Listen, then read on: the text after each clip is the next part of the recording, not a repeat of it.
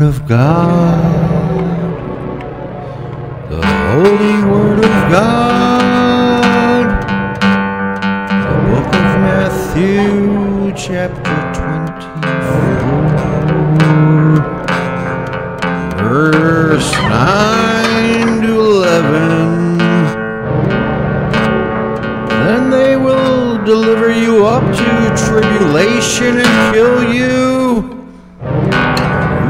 Hated by all nations for my name's sake.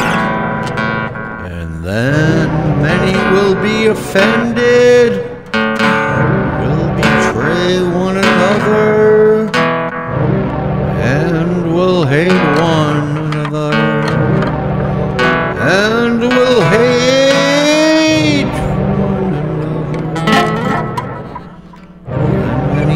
false prophets will rise up.